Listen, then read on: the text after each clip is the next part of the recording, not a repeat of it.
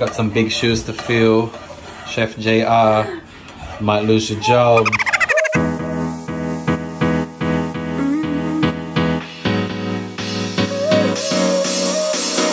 Work is almost over, summer's getting closer. Hello mga Zoops! Magandang araw sa inyong lahat! Ayan, nakaligo na ako. And it's Wednesday ba ngayon, Daddy? It's Wednesday.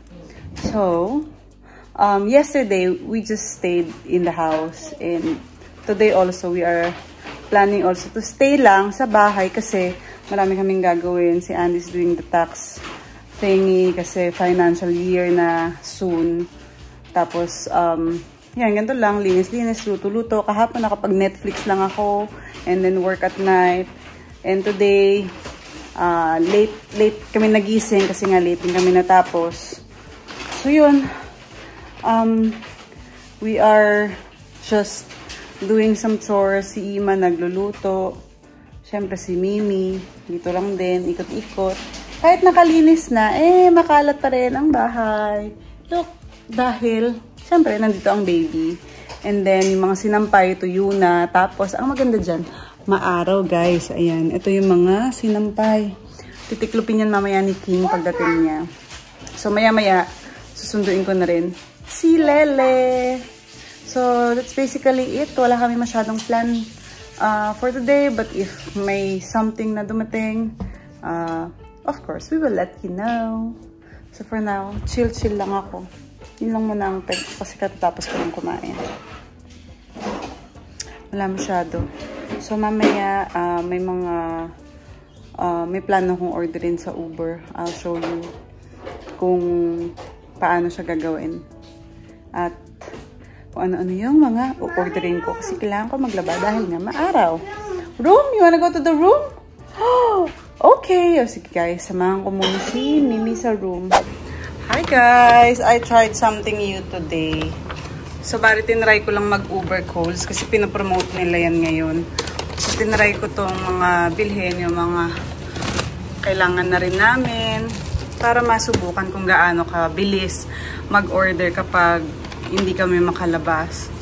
So, yan, bumila akong tinapay. With the naked baby. Alas ka dito, Mimi! Cup noodles, watermelon. Ayan. Yan yung mga example na pwede ninyong bilhin. Bacon, hotdog. Bumili na rin ako ng tissue kahit kakabili ko lang. Para lang masubukan ko. Tinapay ulit. Yeah, you have coffee? Milk, roll-ups, cup noodles, mac and cheese. So, ayan guys. Actually, lahat sinubukan ko.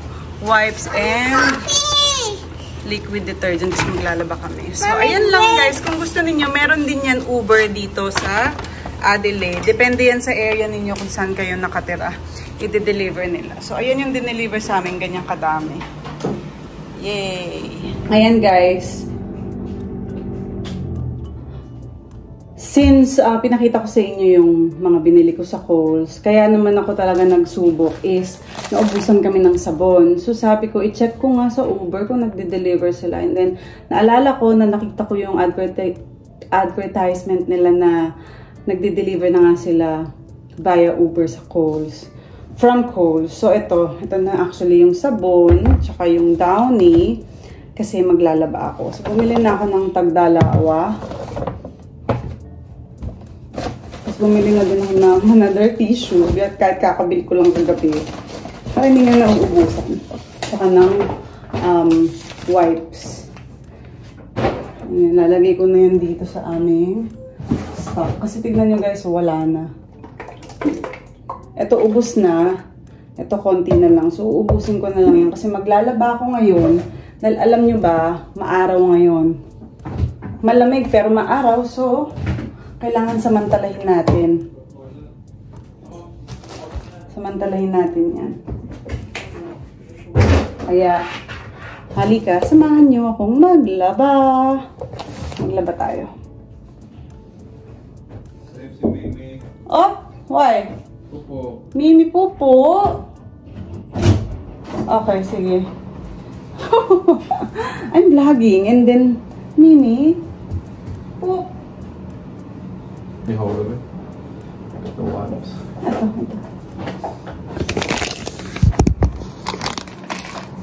Ito, ito. Wow, bait. Sige lang. Ang bait mo naman. Look what I found in the hamper. Ang bait talaga. Babe, nasa hamper. Ewan ko, yung sapatos niya.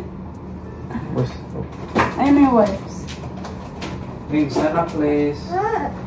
Hindi ka na. No, no, no. You're not gonna do it. I'm gonna do it. Mims, Means I'll do it. do it.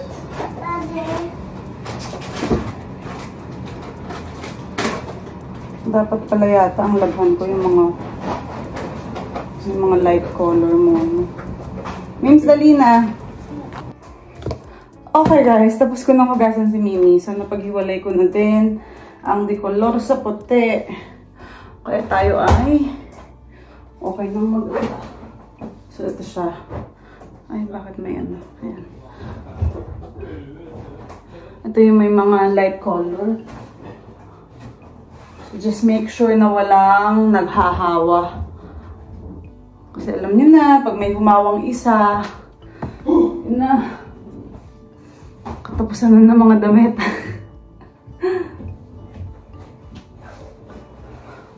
so, two loads lang ako ngayon. Tapos, wala nang labahin! Yay!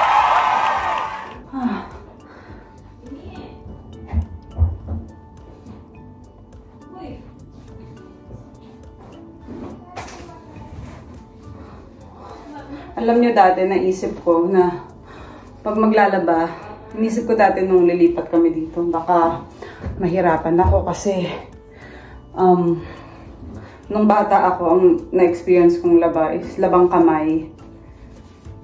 Kala ko ganun din yung mga experience ko dito sa Australia. Mabuti na lang, washing machine na.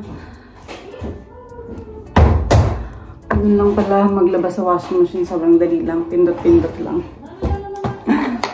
okay lang naman. Sanay naman ako dyan nung bata pa ako. Hiningal ako. Kunti na lang to. Hindi na talaga siya abot. Tapos guys, yung mga ganito namin, sinusoli namin to or binibenta. Binibigay ko sa father-in-law ko kasi siya yung mahilig mag-market, mahilig mag-segregate ng mga ganyan. Kaya gustong gusto ko yan iniipon para sa kanya. O, ito na guys. Pakita ko sa inyo paano ako maglaba ulit. So, ito guys. Ito yung washing machine namin. Ito lang. Press lang natin yung on. Tapos, echo. Speed. Tapos dito ako naglagay kanina ng um, laundry soap tsaka ng downy. So, ayun na siya guys. Mag-automatic na siya. Pinindot ko na yung play. Tapos kung naririnig nyo, nag-ano na yung water. Nagsispin-spin na siya. Spinning, spinning. Ayan. So, ito pa yung mga darks. Pagsasama-samahin ko siya. Para uh, malinis. Nakapaglinis na ako ng banyo. So, ibabalik ko lang muna to sa hamper ko. Para hindi makalat. At least na pag na-separate ko na siya. That's the important thing. So, ayan na guys. May time na. So, that's 39 minutes. Antayin ko yan. Pero magsusundo muna ako kay Aliyah. Eto na, naglalakad na tayo. Kasi susundin ko na si Aliyah. And tingnan nyo naman guys, ang ganda ng araw. Nakaka-excite yan kasi para sa mga bata, pwede silang lumabas, pwede silang mag-park. So tignan natin kung may time mamaya kasi tinatapos ni Andy yung, yung mga kailangan niyang tapusin. So ito na, ang ganda ng nilalakaran ko kasi talaga namang ramdam mo yung ganda ng weather. Ganda ng panahon ngayong araw na ito. Yan. Whew. Sarap actually maglakad. Tapos guys, di ba nakadalawang gym na kami ni Andy, nakadalawang araw na kami. Ang sakit ng mga legs ko kasi ah, tinatry ko lang munang ah, mag-cycling para mas maging strong yung aking legs. And then, dahan-daan tayong magka-comeback sa pagbubuhat. Whew! Nakaka-excite kasi ano, um, meron kaming 2 months para mag-workout.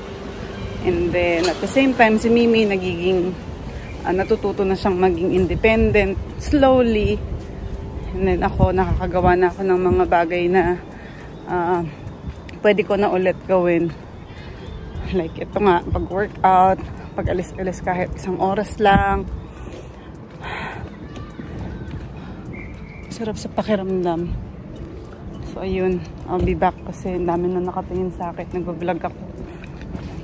Isip nila, para may doing this. Charot, hindi, hindi naman. Nahiya lang ako mag-vlog dito sa school, syempre. BRB, guys. Hi! So, nakalabas kami ngayon ni Andy. Papunta kami sa gym. And it's day 3. Um, wala pa masyadong progress. Pero at least, we are, we you did are, something. we did something, oo. At least meron na kaming pag-exercise na nagaganap. So, ito na, walking, walking there. No, Naku, nakikita ko yung double chin.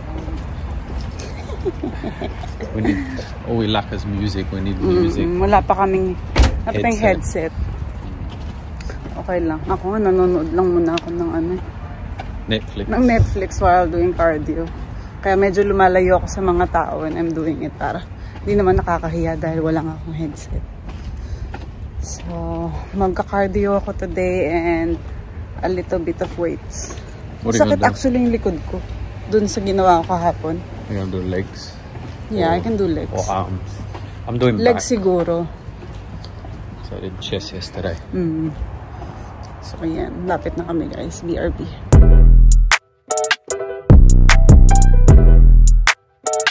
Back in that, back in that bag again. Whoa, whoa, yeah, yeah. Hey, hey, hey, hey, hey. Back in that, yeah. Tell them to watch it. Now I ain't talking my pockets. Just know we ain't running out the way that we stock it. If I got it, you got it. If I call it, she sliding. Tell her to mop it. Yeah, I got that shit doing. Damn, she took that thing off and bring it around. Going at it till I'm on. Put that 90 in a hole. I'm beating it down. I'm back in that bag again. Whoa, whoa. Oh, say less. I'm back in that bag again. Yeah, yeah. Oh, say less. I'm back in that. Yeah. What you doing? Yeah, yeah. I'm back in that. Hey, where you going? Hey, hey, back in that bag again. Don't bring me around your friends. You know that I'm bagging them. Request me on Facebook. No, I ain't adding them. Positions I had her in. Hit from the back. That pussy was splattering. Calling her friend. Tell her pull up. Word, let's make it a gathering. They loving I that said, swagger, baby, yeah. nah, I'm Matic now, but she loving the splash again. I just be cashing in her buns, just like a wedding. Ayun. Third gym session. Yes, I love it. I did legs, tsaka walking. Ikaw, babe. Uh, back. Yeah. And now I'm shaking. Oh, that's a good thing. But it's a good night. It's a little bit chilly, but parang okay naman after to come out from the gym. Yan ba ngayon? Ang weather natin ay... 11 degrees. Kaya palang lamig. Ayun, parang 11 din last night. Yeah. Actually, mas malamig pala. It's gonna Ata. be 8 later. Yay. Madaling araw, 8 to. Grabe. Hanggang 7 a.m. Oh my gosh. Ayun, wala, wala ng kotse. Kanina ang dami, puno to ah. A little baby's there. Alright, I'm going back home to eat. Ayun, so Diana is cooking sao picao. Try lang. Try lang. Got some big shoes to fill. Chef JR might lose your job. No, try lang. Ayun guys, here's the sao picao for presentation. Uh, there's a little bit of splatter on the side, but it does smell pretty good. So, and I like that the garlic is crispy on top. So, what do you think, babe? You try it first. I've got Ema's green outfit in the background.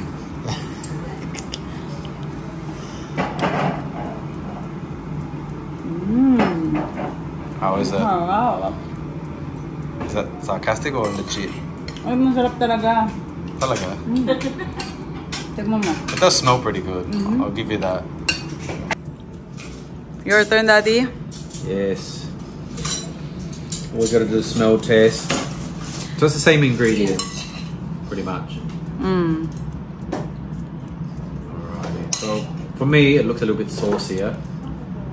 So that could be a, a plus or a minus. We'll see. It's probably too much garlic. Probably won't kiss me later. Okay, so taste test. Get the one with the fat because I like the best. The best part of it is usually the fattiest part. Mm-hmm. So, let's yeah. No, it's actually pretty good. Ang totoo. It's a little bit saltier than um, how JR makes it. But the taste pretty good. I'll just back down on the salt a little bit. Okay. But the cooking, it's soft, it's tasty, it's got more sauce. So, You like more sauce or no? um, it's, it's good for something different, I think, with a little bit more sauce. But yeah, I'd, ba- I'd back off on salt. Sumobra ata sa soy sauce. But it's actually pretty good. You've got potential. Leche. Good. As you can see, hindi na ruin ng salpikaw kahit papaano. ah, masarap daw, pero napa sobra ng ano eh, ng alat. But, you know, mapapag-aralan naman. Tsaka first time ko po kasing lutuin yun. Kinopya ko lang kung paano tinuro ni JR, yung chef na nagluluto sa amin dito. So, hopefully sa second try ko, maging perfect na siya agad. Wow! Feeling ko naman. So, ayun guys, alam ninyo, nakatatlong araw na rin kaming dire-diretso sa pag-workout. Ah, talagang decided na kami this time. Um, motivated at challenge ah, accepted na yung pag-workout every day. So, we will update you syempre sa progress. For now, wala pa masyado. Masasakit pa lang ang mga kasukasuan namin. But, it's all good. So, thank you so much guys for watching this vlog for today. Mwah!